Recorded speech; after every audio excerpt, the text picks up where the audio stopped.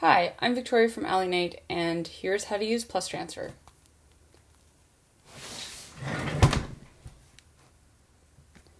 First, you take your phone and you type in www.plustransfer.com.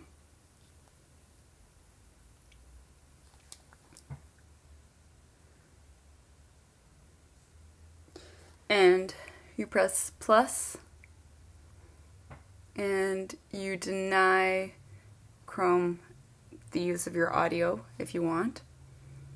And once you get to the screen, you choose a file.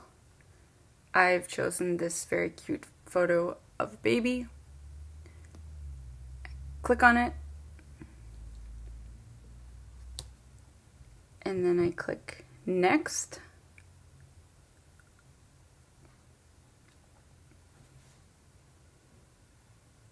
And up in this one, I put my email, and then down there, I put the email that I'm sending it to. So in this case, up here, I'm putting my personal email, peron.victoria, and then I'm sending it to my work email, which is the email that everyone can send things to. So I'm sending it to victoria at alianait.ca, and it's from peron.victoria at alianait or at gmail.com. I click send, and it sends it. And then if I go into my Gmail,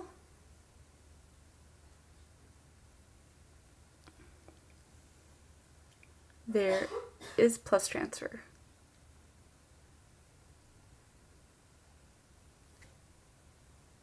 And I can download them. And that's how you send a file using Plus Transfer.